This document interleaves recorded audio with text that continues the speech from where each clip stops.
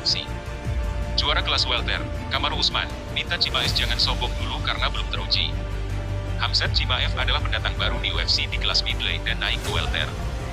Cimaev mampu mengawali empat laga dengan sapu bersih kemenangan. Cimaev menang atas John Phillips, RHIS S1MCH Pronunciation K, Gerald Beers Chairi, dan Jing Liang Li.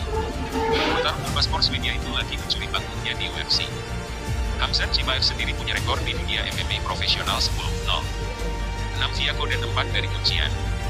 Meski begitu, juara kelas welter UFC Kamar Usman meminta Cimaev jangan congkak dulu. Bagi Usman, Cimaev belum begitu teruji. Cimaev belum begitu teruji.